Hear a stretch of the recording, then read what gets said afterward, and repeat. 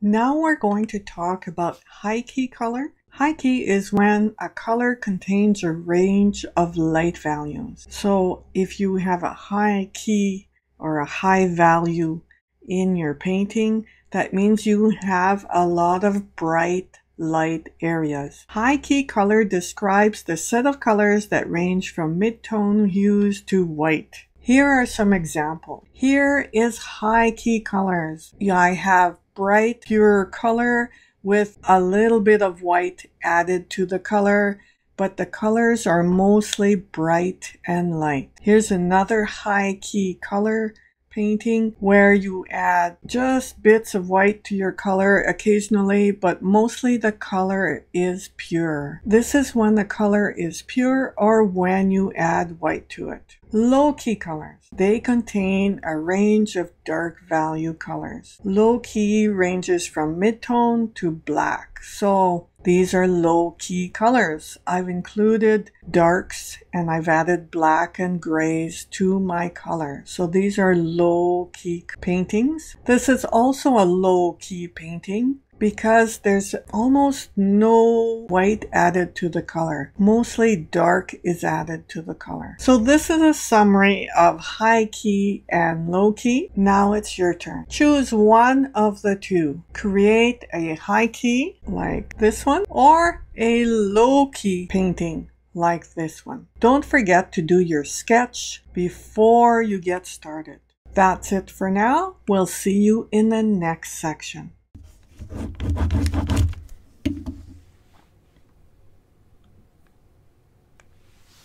High Key, Low Key by Doris Charest. Here we're going to look at a few sketches and or mini paintings that talk about high key and low key. So what we're going to start with is tertiary colors. So here are the tertiary color samples and they're very low key as compared to primary colors that are very high key, just like this one. So look at the difference.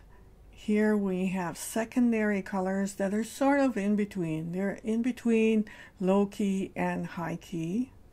High key is when the colors are closer to primary colors. Low key is when they're low, uh, further away from the primary colors. They have been blended more. So here are some more samples. Secondary colors, see how more low key they are? They're more blended colors. So low key is when you add other colors to your primary colors and you and or you add blacks or you add reds. So here's another example, primary colors right here, secondary colors right here, more blended, more low key. And now we have the tertiary colors that are even more low key. They're less blended. And that's all there is to high key and low key. The closer you are to primary colors, the higher the key. The low, the more mixed the color is, usually the more low key it is. So it can be mixed with other colors or it can be mixed with black and white.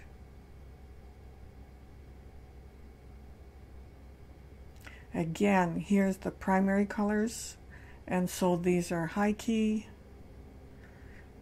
secondary colors, a little bit more low key because they're mixed.